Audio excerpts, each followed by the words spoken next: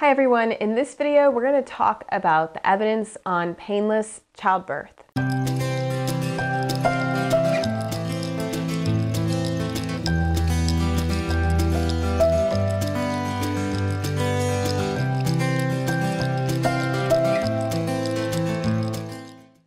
Hi everyone and welcome to this evidence-based birth video all about painless childbirth. My name is Rebecca Dekker and I'm a nurse with my PhD and the founder of Evidence Based Birth. If you haven't already, I recommend that you go back and look at the first video we did about pain management called An Overview of Pain Management During Childbirth. The information in that video provides really good background info on this topic. When we were sharing our videos about pain management during childbirth, some people commented and messaged me asking if I could talk about the concept of pain not necessarily being part of childbirth because anecdotally, some people experience what they would consider to be painless childbirth. But how many people experience painless childbirth? We found a 1998 article in the American Journal of Nursing that suggested that 1% of people, or 1 in 100, do not experience pain during labor or childbirth. Where they got that number from wasn't cited in the text, but when we went through the reference list, we did find a paper published in 1996 where the authors found that 1% reported feeling no pain at all during childbirth. This was a study done in Sweden where they asked women to fill out a survey after their birth experience about their pain. The survey was filled out about 45 hours on average after the birth. Most people in this study had medications for pain management, including nitrous oxide or epidurals. Non drug methods of pain management were also common in this study, the most common methods of non drug pain management were taking a bath or a shower, using massage, and using deep breathing or relaxation techniques. 41% of the participants rated their pain as the worst imaginable pain, and 1% reported that they did not experience pain at all. Unfortunately, we don't know anything about what pain management techniques those 1% were using. It's possible that they were medicated, it's possible that they were unmedicated, we don't know. You actually have to go back to the 1970s and 1980s to learn more about painless childbirth because this was a hot topic back then. Lamaze's popular 1970 book called Painless Childbirth suggested that preparing for childbirth could eliminate or drastically reduce the pain you experience during an unmedicated birth. Other researchers disagreed. They thought that this promise was overblown. They thought that childbirth education might lessen or reduce your pain, but it couldn't eliminate it entirely. We did a lot of searching and digging, trying to find numbers or percentages or other studies that looked at painless childbirth, and we didn't have much luck. However, anecdotally, there are a lot of reports online of women who say they experienced a very comfortable childbirth, even sometimes unmedicated. A lot of these anecdotes come from families who use the hypnobabies technique or the hypnobirthing technique. We're going to cover hypnosis for pain management during childbirth in a separate video. So for the rest of this video, I want to talk about how the state of mind could influence how you perceive your pain. In the Netherlands, only about 22% of mothers give birth with an epidural, compared with 61% in the United States. Researchers there recently conducted in depth interviews with 40 women postpartum to try and understand how those who experienced a natural labor perceived their pain. Some of the women gave birth at home and others were in a hospital setting. They found that these women who choose to have a natural labor without pain medications shared some common beliefs. They believed that birth was a normal and natural process they trusted in their body's abilities to give birth. Medicines for pain are best avoided unless they become necessary. Pain is a manageable, acceptable, and normal part of the birth process. Epidurals take away some of your control over the process, and having a sense of control is very important to them. In 2017, researchers in Australia did face to face interviews and written surveys to understand how people's state of mind related to how they experienced labor pain.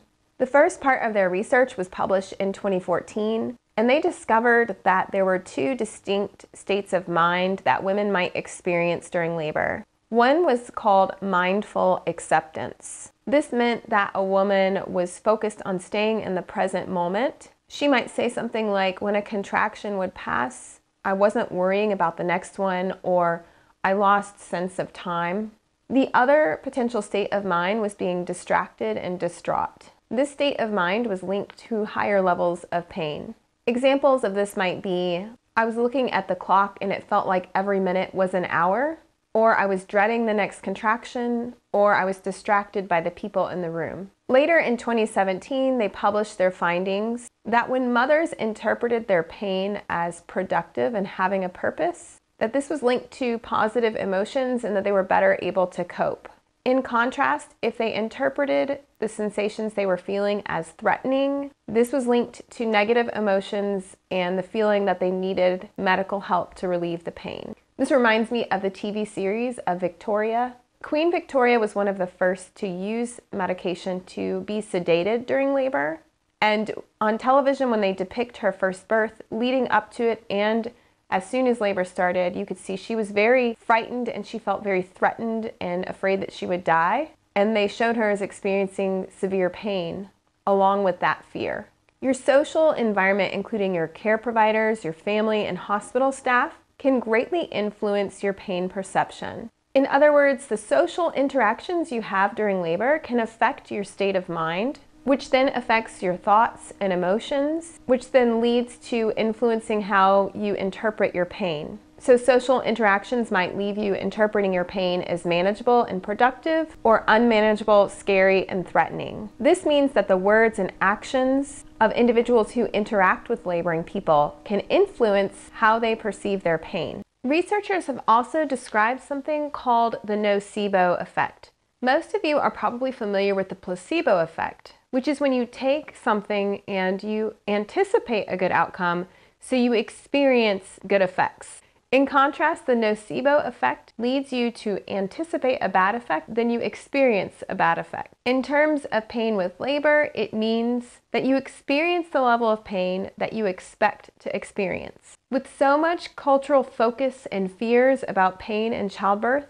we could really be setting people up to expect to experience more pain in childbirth, thus leading them to experience more pain in childbirth. So, how does the birth environment influence how we perceive pain during labor? There was a really interesting study where researchers interviewed 300 first time mothers and 300 experienced mothers who were giving birth at a hospital in Iran. They used a scale to measure pain during labor, and then after labor, the women completed surveys about the environmental stressors that they experienced or didn't experience. First time mothers most often reported that a crowded delivery room and restrictions on movement were sources of environmental stress. Experienced mothers reported that noise in the delivery room and restrictions on drinking oral fluids were sources of environmental stress. Their findings showed that environmental stressors may aggravate birthing people's anxiety and pain levels. Loud noise increases fear, which can make a person more sensitive to pain.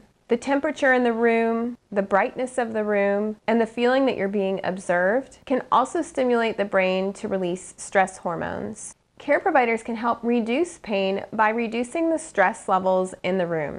Interestingly, a study of about 17,000 planned home births in the United States found that only 281 people, that's less than 2%, transferred to the hospital for pain relief. This suggests that 98% of people can cope with labor pain in their home environment. However, a minority will still need relief with pain medication.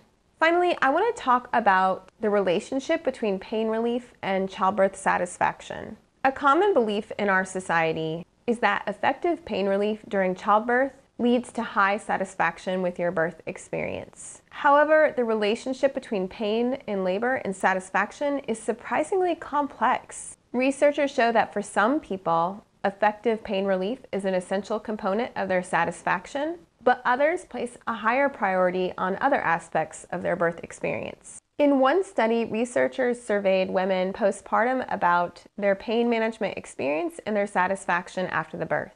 They found that people who had epidurals reported effective pain relief and high levels of satisfaction. However, surprisingly, people who used nitrous oxide had varying levels of success with their pain relief, but almost all of them had high satisfaction with their childbirth experience. Another study looked at women planning an unmedicated childbirth. They found that women who wanted and achieved an unmedicated birth were highly satisfied. Those who planned a natural childbirth but had an epidural reported effective pain management but less satisfaction. A way to summarize all this is that people are generally happiest when they get what they want. If people want the high quality of the pain relief that goes with an epidural and they get it, then they're happy. But if for some reason their epidural doesn't work or isn't effective enough, they probably won't be happy. At the same time, if someone wants to avoid medications for pain relief and they've prepared for it and they have supportive care, if they're able to get it, then they're usually pretty happy too, despite not having medications for pain management. This is a critical point for healthcare workers to understand that some mothers can be highly satisfied with their birth experience, even if they report having less effective pain relief.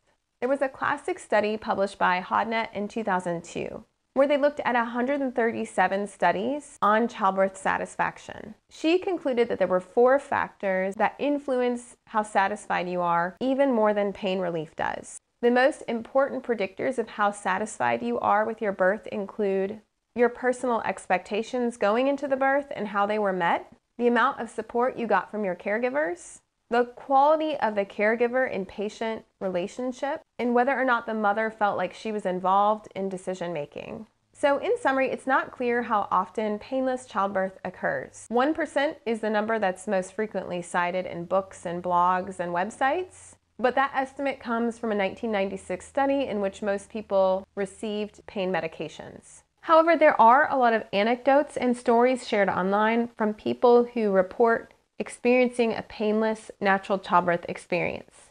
We did find research evidence that there's a lot of different things that can influence how you perceive pain during labor.